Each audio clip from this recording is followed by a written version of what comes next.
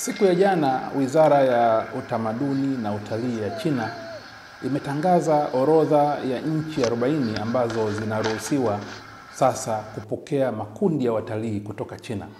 Na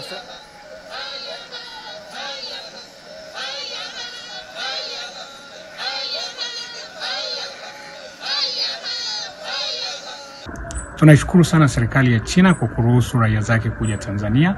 Kwa kweli, kwa upande wa uchumi, ajira, uh, itatusaidia sana tour operators, uh, watu wa hotels na kadhalika. Uh, lakini tujiandae sasa, hasa kwenye swala la barabara.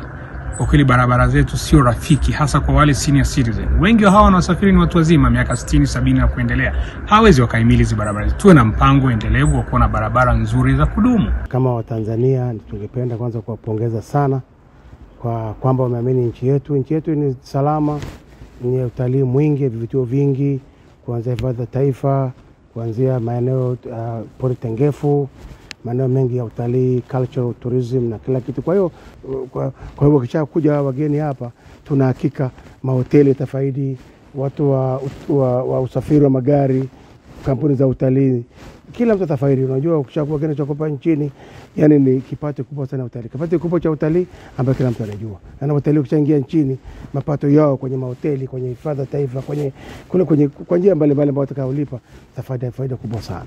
Kuna mambo machache ya kufanya. La kwanza kabisa ni maandalizi ya hospitality industry ambayo ndio ina, ina host e, wageni wote wanaokuja Tanzania. Kwa hiyo maandalizi ya, ya, ya wafanyakazi kufanya training, lakini pia nchi inatakiwa tayari katika masuala ya mahoteli accommodation.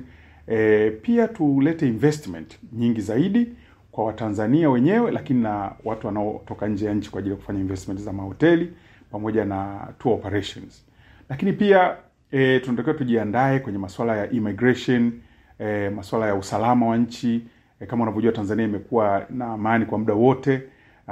Kwa hiyo mambo yote yanayohusika na upokeaji wa wageni, viwanja vya ndege kwa mfano e, tunatakiwa tuwe tayari, kwa sababu namna ya ugeni unaokuja wa China unakuja kwa na, namba kubwa sana kwa mara moja. Kwa hiyo hayo ndio ya msingi ya kuyafanyia kazi. Hii ni mara ya pili Wizara ya Utamaduni na Utalii ya China inatangaza ma, makundi ya nchi, zina, nchi ambazo zinaruhusiwa kupokea makundi ya watalii kutoka China, na mwezi Januari walitangaza nchi ishirini na sasa jana wametangaza nchi 40. Kwa hiyo jumla ya nchi ambazo zinaruhusiwa kupokea makundi ya watalii kutoka China zimefikia eh, sitini.